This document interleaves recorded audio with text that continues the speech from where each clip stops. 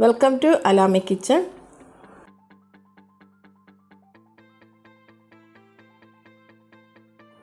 ഇന്ന് നമുക്ക് നല്ലൊരു പ്രഥമൻ ഉണ്ടാക്കാം. ചെറുവാറ പരിപ്പ് വെച്ചിട്ടുള്ള പരിപ്പ് പ്രഥമനാണ് ഉണ്ടാക്കുന്നത്. പ്രഥമൻ നമ്മൾ പപ്പടവും പഴയലും കൂട്ടി കഴിക്കാൻ ഭയങ്കര ടേസ്റ്റാണ് അപ്പോൾ നമുക്ക് ആദ്യം പ്രഥമൻ എങ്ങനെ ഉണ്ടാക്കാൻ നോക്കാം. ഞാനിപ്പോൾ എടുത്തിട്ടുള്ളത് അരക്കിലോ കിലോ ചെറുപയർ പരിപ്പാണ്. അതൊന്ന് കഴുകി എടുത്തിട്ട് അരിപ്പയിലിടുക അത് അപ്പോൾ പെട്ടെന്ന് തന്നെ അത് ഡ്രൈ ആയിട്ട് കിട്ടും. ഇനി ഒരു കുക്കറിലേക്ക് മൂന്ന് ടേബിൾ സ്പൂൺ ഗീ ഒഴിച്ച് കൊടുക്കാം. നന്നായിട്ടൊന്ന് ചൂടായാൽ നമ്മൾ കഴുകി വെച്ചിട്ടുള്ള പരിപ്പ് ഇതിലേക്ക് ഇട്ട് കൊടുക്കണം. എന്നിട്ടൊരു മീഡിയം ഫ്ലെയിമിൽ വെച്ചിട്ട് ഒന്ന് രണ്ട് മിനിറ്റ് വറുത്തതിന് ശേഷം ഇതിലേക്ക് തേങ്ങാപ്പാൽ ഒഴിച്ചു കൊടുക്കാം. തേങ്ങാപ്പാൽ എടുക്കുമ്പോൾ നമ്മൾ വലിയ തേങ്ങയാണെങ്കിൽ അര കിലോ പരിപ്പിന് ഒരു തേങ്ങ മതിയാകും. അപ്പോൾ അതിന്റെ രണ്ടും മൂന്നും പാൽ നമുക്ക് ഒന്നിച്ചിട്ട് എടുക്കാം. ഒന്നാം പാൽ മാറ്റി വെച്ചതിന് ശേഷം ആ രണ്ട് പാലും എടുത്തിട്ട് നമുക്കിതിൽ പരിപ്പ് വേവാൻ വേണ്ടിയിട്ട് ഇതിലേക്ക് ഒഴിച്ചു കൊടുക്കാം. എന്നിട്ട് രണ്ട് വിസിൽ വന്നതിന് ശേഷം ഫ്ലെയിം കുറച്ചിട്ട് ഒരു പതിനഞ്ച് മിനിറ്റ് ചെറിയ ഫ്ലെയിമിൽ വെച്ചിട്ട് കുക്ക് ചെയ്തതിന് ശേഷം നമുക്ക് അതിന്റെ പ്രഷറെല്ലാം പോയാൽ നമുക്കത് ഓപ്പൺ ചെയ്തെടുക്കാം.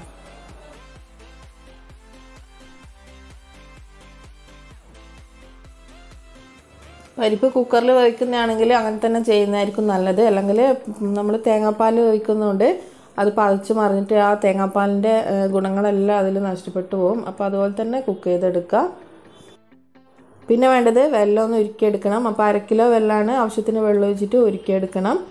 അര കിലോയിൽ ആവശ്യത്തിന് മധുരം ഉണ്ടാവും. കുറച്ച് വേണമെങ്കിൽ ഒന്നോ രണ്ടോ ആണി മാറ്റി വെച്ചിട്ട് ഉരുക്കിയെടുക്കാം. പരിപ്പിപ്പം നന്നായിട്ട് വെന്തിട്ടിട്ടുണ്ട് ആവശ്യത്തിന്. ഇതിപ്പോൾ ഞാനിനി ഒരു ഉരുളിയിലേക്ക് മാറ്റി കൊടുക്കുകയാണ്. ആ സമയത്ത് വേണമെങ്കിൽ ഇതിൽ കുറച്ച് ഗീ ഒഴിച്ച് കൊടുക്കാം.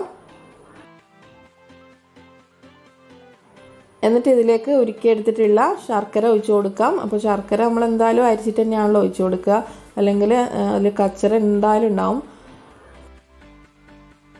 എന്നിട്ട് നല്ലതുപോലെ മിക്സ് ചെയ്തെടുത്തതിന് ശേഷം ഒന്ന് തിളച്ച് വരുമ്പോൾ ഇതിലേക്ക് നമ്മൾ ആദ്യം എടുത്ത് വെച്ചിട്ടുള്ള ഒന്നാം പാൽ ചേർക്കണം. അത് ഇതിൽ സ്കിപ്പായിട്ടാണുള്ളത് അപ്പോൾ ഒന്നാം പാലും കൂടിയും ചേർത്ത് ജസ്റ്റ് അവിടെ ഇവിടെ ഒന്ന് തിളച്ച് വരുമ്പോൾ നമുക്ക് ഫ്ലെയിം ഓഫ് ചെയ്യാം.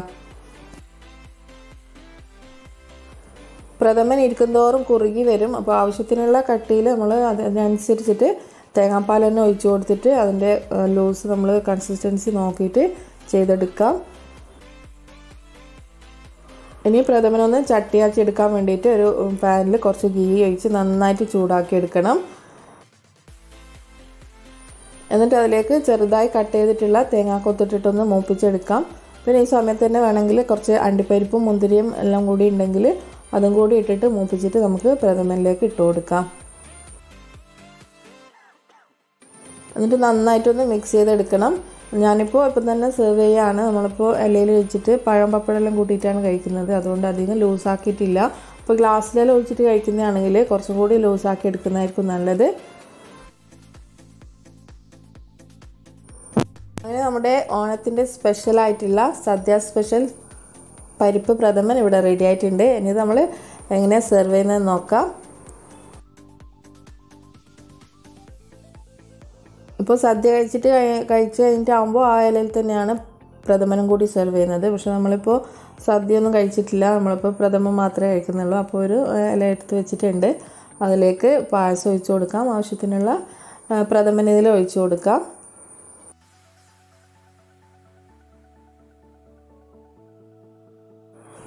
പിന്നെ ഇതിൽ കുറച്ചും കൂടി ഇൻഗ്രീഡിയൻസ് ഇട്ട് കൊടുക്കുന്നുണ്ട്. ഒന്ന് കുറച്ച് പഞ്ചസാര ചേർത്ത് കൊടുക്കുന്നുണ്ട്. ആ ഒരു മധുരം ബാലൻസ് ചെയ്യാൻ വേണ്ടിയിട്ട് കുറച്ച് പഞ്ചസാരയും കൂടി ഇട്ട് കൊടുക്കണം.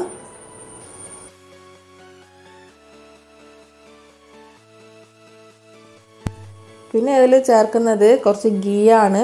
അപ്പോൾ നെയ്യ് ചേർത്താൽ ഭയങ്കര ഒരു നമ്മളിതിന്റെ ടേസ്റ്റ് തന്നെ മാറും. നമ്മൾ ഇതിൽ നെയ്യ് ചേർത്തിട്ട് കഴിക്കുമ്പോൾ അപ്പോൾ നല്ല ചൂട് പായസത്തിൽ നെയ്യും നെയ്യും കൂടിയും ചേർത്തിട്ട് വേണം.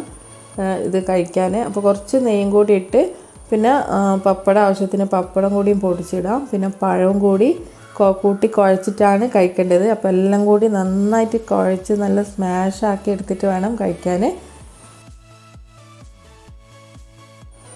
പറയുമ്പോൾ തന്നെ വായിൽ വെള്ളം വരും. അപ്പോൾ ഇത് കഴിച്ച ആൾക്കാർക്കറിയാം ഇതിന്റെ ടേസ്റ്റ് എങ്ങനെയാണ് അപ്പോൾ ഇതുവരെ ഇതുപോലെ ട്രൈ ചെയ്ത് നോക്കിയിട്ടില്ലെങ്കിൽ എന്തായാലും ട്രൈ ചെയ്ത് നോക്കണം. നല്ല അടിപൊളി ടേസ്റ്റാണ് നമ്മൾ കഴിച്ചാൽ പിന്നെയും പിന്നെയും കഴിക്കേണ്ടി വരും. ഇപ്പോൾ സദ്യ കഴിക്കുമ്പോൾ കുറച്ചൊരു വയറിൽ കുറച്ച് സ്ഥലം ബാക്കി വെച്ചിട്ട് ഇതുപോലെ പ്രഥമനും കൂടിയും കഴിച്ചാൽ അന്നത്തെ ദിവസം തന്നെ അടിപൊളിയായിരിക്കും. അപ്പോൾ എല്ലാവരും ട്രൈ ചെയ്ത് നോക്കണം.